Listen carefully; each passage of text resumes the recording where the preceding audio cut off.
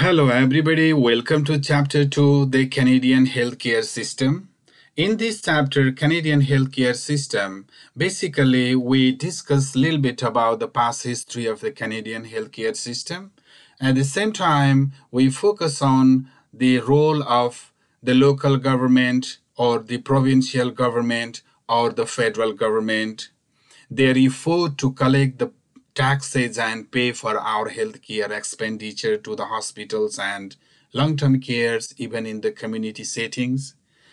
And the another significant uh, part of our discussion today here in this chapter is how the canadian healthcare system is being changing from one scenario to other scenario and how these support workers' role are being more important every day. How the scope of practice as a support worker, we are supposed to be very much competent in providing the care from our part. It has become very important now. Canada's national health insurance system or Medicare ensures that all Canadians have access to quality health care, no matter which part of the country they live in. All these Canadians, they are entitled to get quality health care within this Canada's healthcare system. The system has ensured that all Canadians they deserve, they are entitled to get quality health care. And for that, who is paying the money? It uses the provincial, territorial, and federal taxes to pay for the care. We get the care, they pay for the care. It is the tax money. And support workers have increasingly important role within Canada's changing healthcare system we are providing basic care, fundamental care to our client, no matter what setting we find them. Maybe in the hospital, in the long-term care homes, in the client's their own home, which we call the community. Not does not matter where they live, but our role is increasingly important. We have to provide them quality health care as the system demands. Let's talk a little bit about the evolution of Canada's healthcare system, how this Canada's healthcare system developed. What was the beginning of the Canadian healthcare system? Originally, individuals paid their own hospital or doctor's bill in Canada. That time, there was not universal healthcare benefit for the people. Individuals who go to the hospital, they used to pay the amount. If they could not afford to pay, they went to the charity organizations and those charity organizations they could pay for them and the name of the charity organization could be VON, Victoria's Order of Nurses, a Red Cross, it's Red Cross Society. They were the charity organization they used to pay. When there was a Great Depression in 1930s, Great Depression, the era of Great Depression, when in the 1930s, Many people who were ill or had disabilities, they depend on family members because they could not afford care. At that time, during the Great Depression period of 1930s, people they depend on the family members. So basically, the concept is those who could afford financially, they could get good health they could get good care, medic, medical facilities, otherwise not. In 1947, Saskatchewan had the first in 1947, Saskatchewan has the first public insurance plan. This is very important for us. Saskatchewan, that's uh, one of the provinces in Canada, they have the first public health insurance plan that cover the hospital services of the people. It's 1947. Similarly, another developmental uh, important development happened in 1961. 10 provinces in Canada and two territories agreed to provide inpatient hospital care. Inpatient means when the patient stay in the hospital. Inpatient hospital uh, care care cost were split between the federal and provincial government. See, from the very beginning, from 1961, the government started taking responsibility for the public health. The federal government and the provincial government. This provincial is the provincial local government, federal is the national government. These two government, they started taking care. They started uh, supporting financially and they split the cost of the hospital stay, inpatient hospital care. Another milestone was there 1972. What happened in 1972? Insurance extended.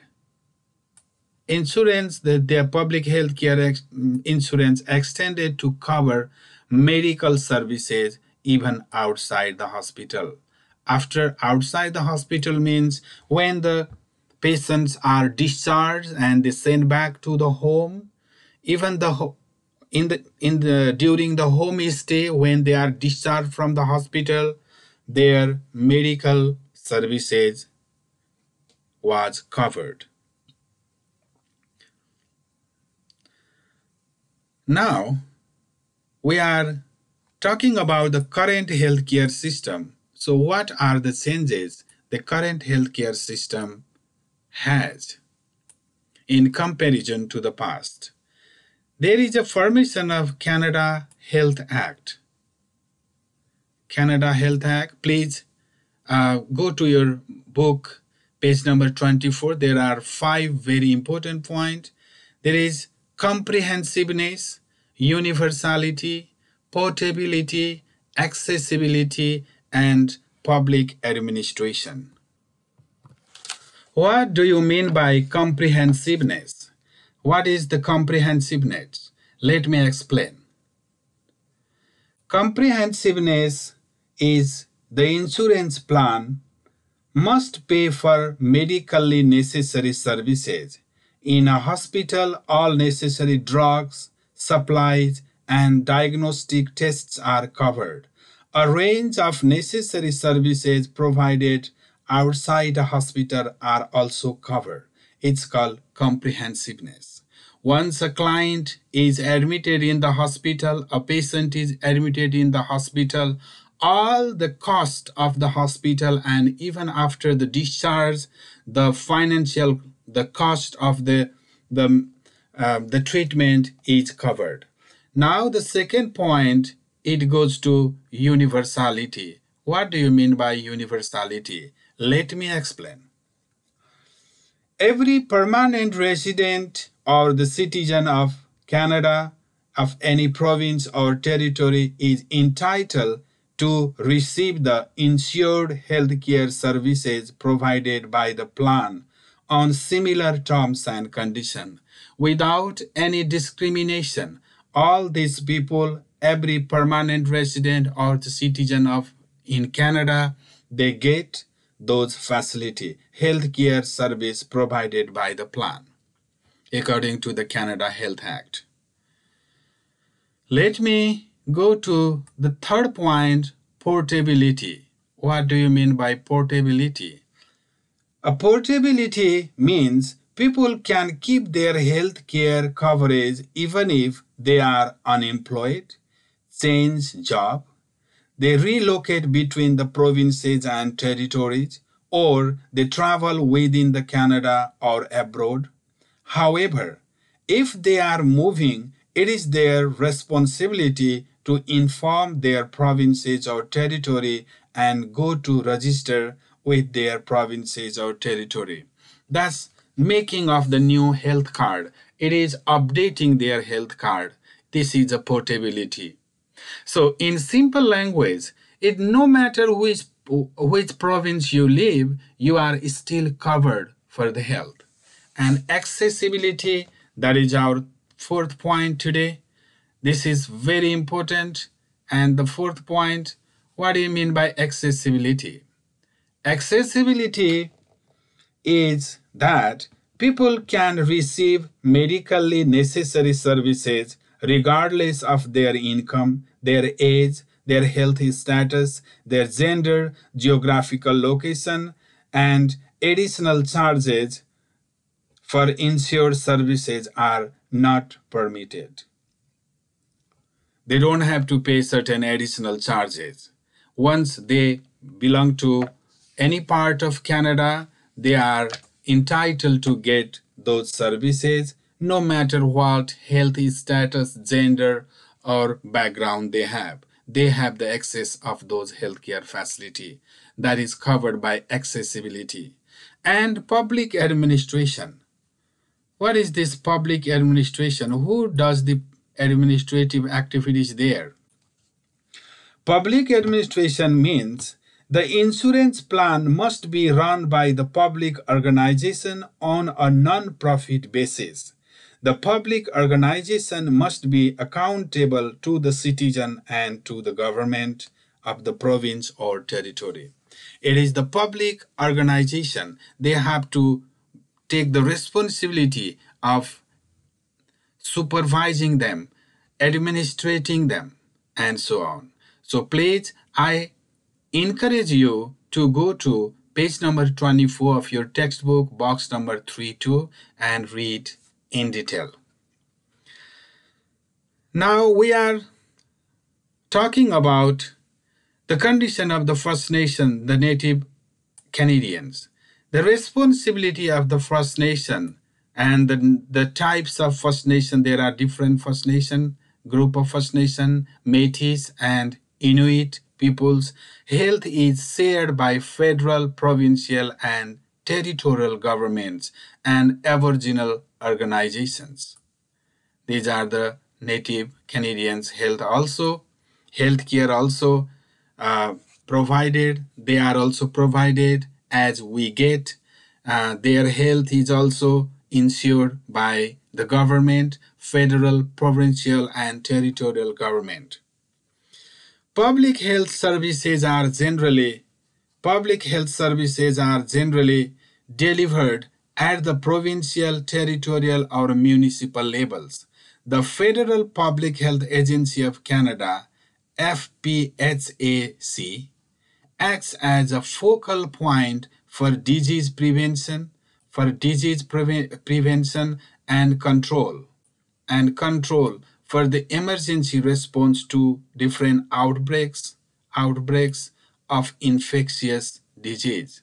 Certain outbreaks like Spanish virus, Middle Eastern virus, SARS, bird flu, and so on.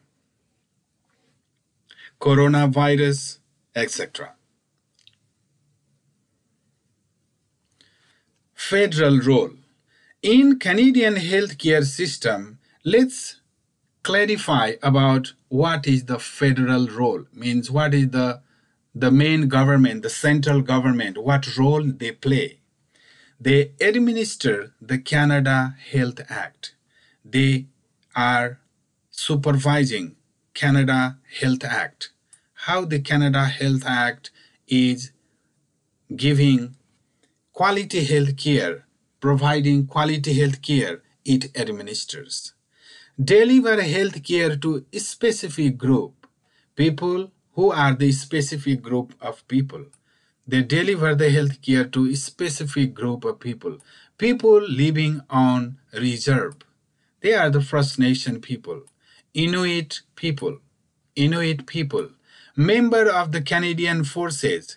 The Canadian forces, they live in the different places for the safe, um, for protecting Canada, for the safeguard of the country, and the Royal Canadian Mountain Police Force RCMPs, and veterans and inmates of the federal jails. Those who are in the jails, their health is also being insured by the Canadian government. So these are the major area the federal government plays to ensure these people, like the people in the reserve, reserves, uh, are the First Nation people and Inuit peoples, again another type of uh, native uh, Canadians, member of the Canadian Force, RCMP, veterans, and inmate of the federal jails. Their healthcare system, their healthcare facility are insured by the federal government. They develop and carry out government policy and programs that promote health and prevent the disease. Basically, their main role is to promote health and prevent the disease. What is there is a quotation in healthcare prevention is better than cure. If you prevent from disease or disease process, this is better than cure because curing is very costly. To cure it, the whole treatment process takes place. Transfer tax money to provinces and territories to share the cost of medical care. This is the role of the federal government.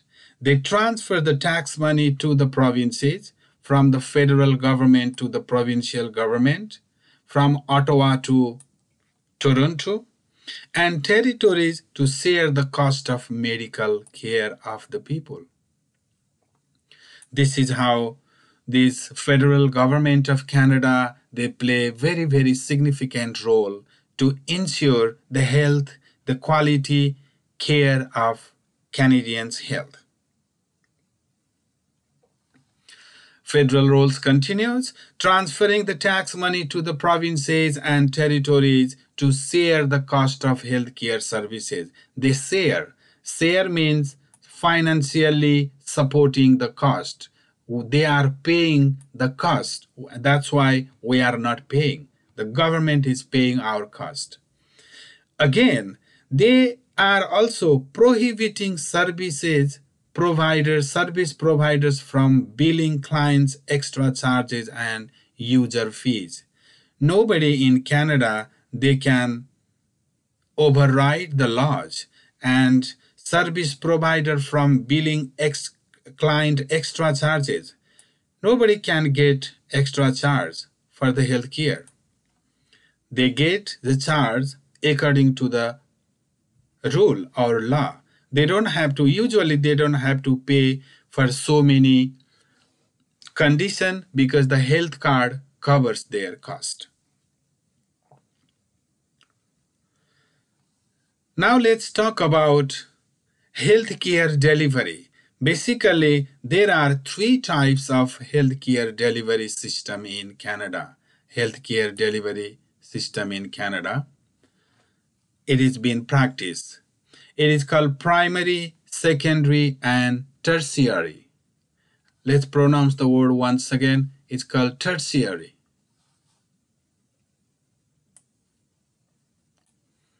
Healthcare delivery. Primary. So, what is the primary healthcare delivery?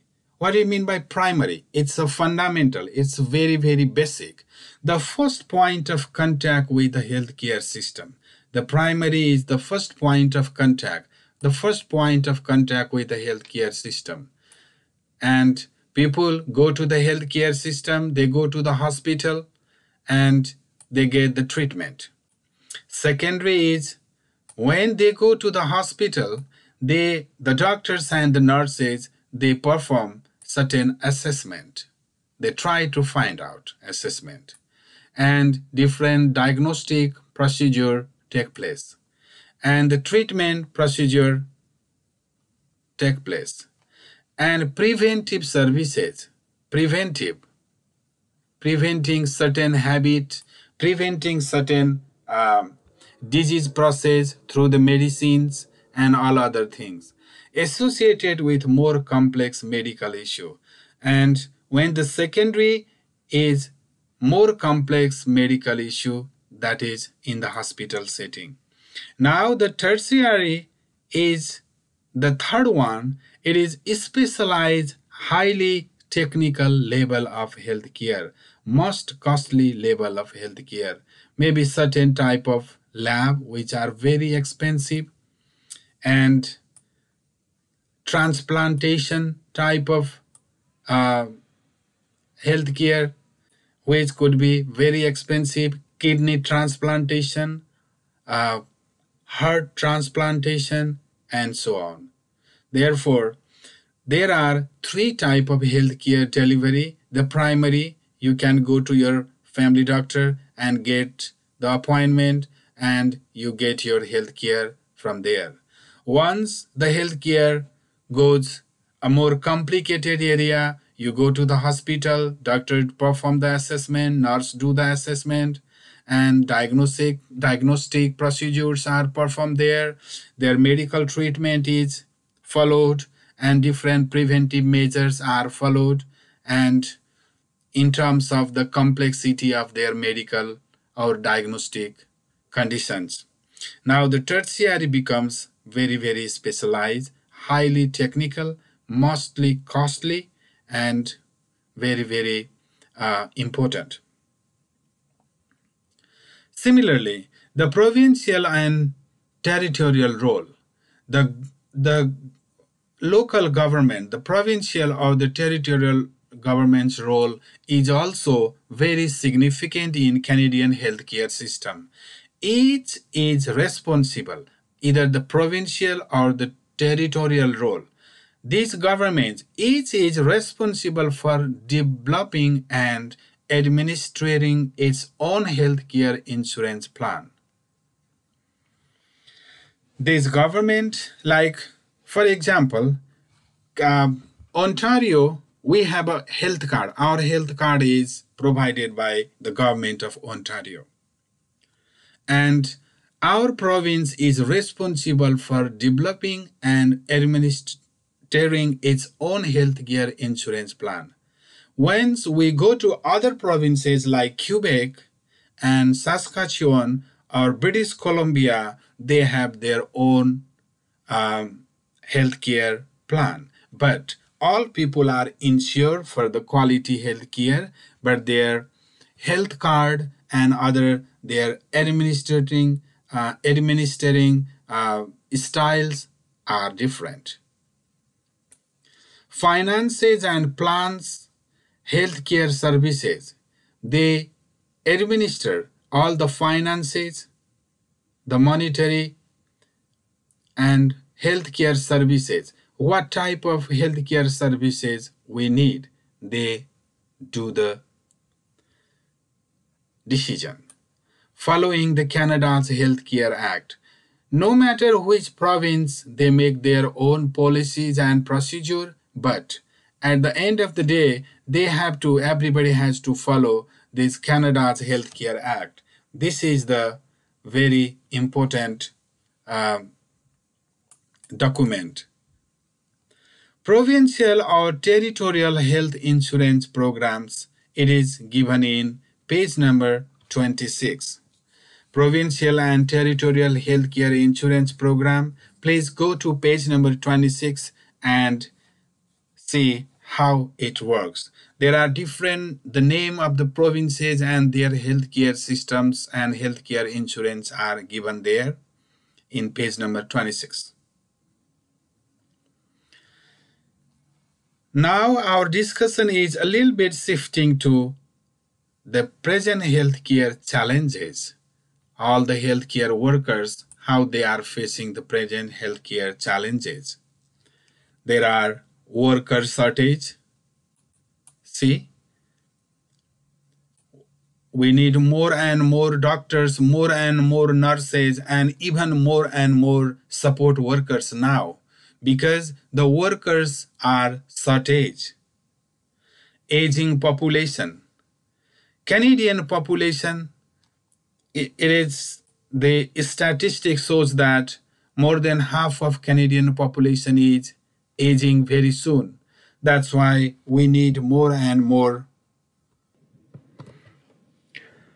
aging population, aging of healthcare worker, those experienced healthcare worker, they are getting old age. They are in their old age. And long waiting list for surgery. When people have different surgeries, they have to wait for so long, maybe one year, sometime even two years, depending on the degree of emergency. And certain diagnostic tests are also there and medical procedure it is a long waiting time. Certain diagnostic procedure takes 2 to 3 months and medical procedure also takes longer period of time than even we expect. Long waiting time for long-term care facility. See after people get the treatment in the hospital and these people are supposed to go for the long-term care facility but all the long-term care facilities they don't have any more spaces now. Therefore the patients in the hospital they are waiting to be transferred into the long-term care facility. This is the reality of present. Increasing cost of care. Now we may not know how much we are paying for our health care but the government has to pay that amount for the medication and for the for the doctors and nurses they have to uh, pay for that. And for this um, cost every day the cost of healthcare is increasing increasing and increasing. Therefore government is also working on how to make the cost effective healthcare system maximum healthcare quality healthcare uh, how to give the quality healthcare to the people, and how to make it cost effective. Now, what is the trend of Canadian healthcare system now? Now the trend goes the first from the very beginning, the health status of the people in the community preventing the illness and injury. The first point of Canadian healthcare system begins from our home. How to prevent the illness, how to prevent the injury. Once Canadian they are conscious about preventing the illness and injury, it is a great support for Canadian healthcare system. It is the great support for Canadian healthcare workers it is the great support for the Canadian government, the, the provincial, territorial, or the federal government, because they are arranging all the financial cost for our treatment process.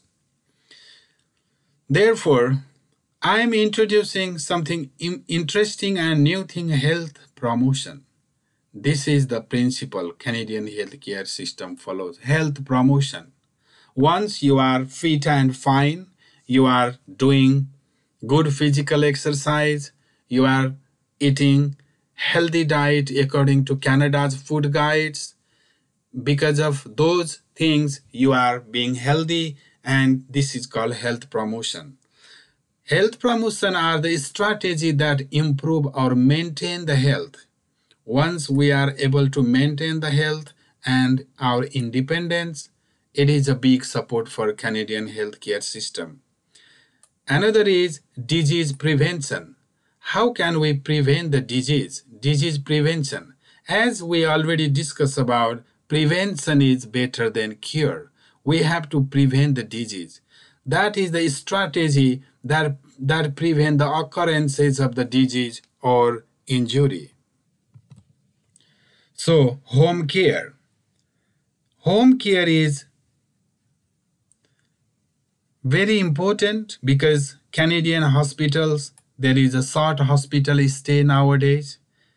The hospital has become very, very short, short period of staying place there. Hospital cannot accommodate many people there is a limitation in hospitals so home health after the majority of the time clients patients they stay in the hospital for short period of time and they go to hospital as outpatient not inpatient. Inpatient means those who stay in the hospital outpatient means on the same day they return to their home. And maximum care is encouraged to provide at home. And when there is a home care our role as a support worker is even more important and alternative healthcare practices are also followed in canadian healthcare system let's focus on home care home care is a community based care provided to the client. We do not say patient who are at home, we say them client. It is established partly to save money, to save money, and partly as a result of the technological advances. Patients are sent home sooner following the hospital procedure, as we um, already talked about it. Patients are the hospital stays of the patients are minimized as soon as possible and they are sent to the home because there are so many technological services the the healthcare agencies are providing the client at their own home home care health is home care is healthcare and support services provided to people provided to people in their places of residence. They can get those healthcare facility in the places of their resident, means where they live. It's their home.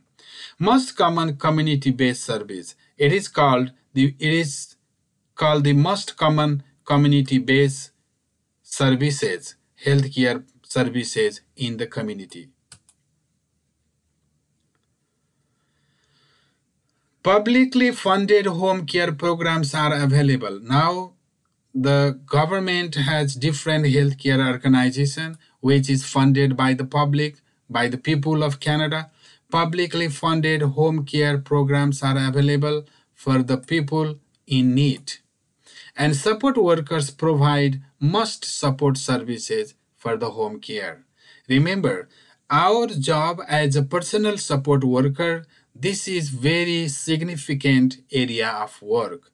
Maximum client in Canada, they want to stay at their home in the place of their own residence and they want to get the care. How home care is governed and delivered, the page number 29 is discussing about that. In this page number 29, what is being discussed there. So, home care, how home care is governed and delivered. The assisting the client's need, home care is governed and delivered. Determining the client's eligibility for the government sponsored professionals, professional and support services. If the people are qualified for the government services, they are provided those healthcare services at home the uh, people are coordinating and monitoring the home care services provided by the private or non-profit agencies which are the government agencies providing information and referrals to other long-term care services. Again, providing placement services to assisted living facilities and extended care facilities known in some provinces as the long-term care facilities when the home care facility goes to more problematic condition when the client is no longer able to stay at home very safely they are sent to the long-term care homes in the nursing homes but not in the hospital.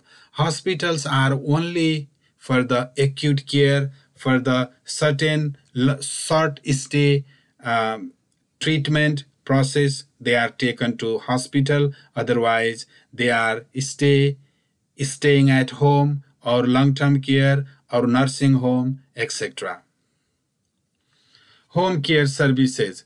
And during the home care services, our role as a personal support worker is very significant and we are giving them personal care services we are preparing their breakfast. We are giving them shower. We are uh, giving them all the necessary services even um, home care services. There we are giving them all the services mentioned in the nursing care plan of their care plan.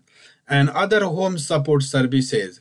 We go for their uh, their groceries. We go to buy their medications sometimes we take them to the public park we do the client's laundries and etc all these belong to the home support services. Nursing and professional services. Nurses are visiting the clients in the home care setting and psws are giving services to the clients. So in hourly basis, PSWs are working in the home care setting and nurses are visiting in those clients' home.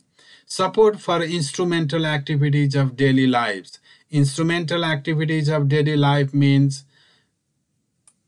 all the activities that are performed at home, personal support worker, they have to do. They have to they have to buy the grocery for the client they have to do the laundry of their clothes and they have to clean the house prepare breakfast prepare meal or lunch or dinner every as per needed we are working as a support worker which is called instrumental activities of daily livings Volunteer services and the friendly visiting can be provided by anyone who meets the volunteer criteria.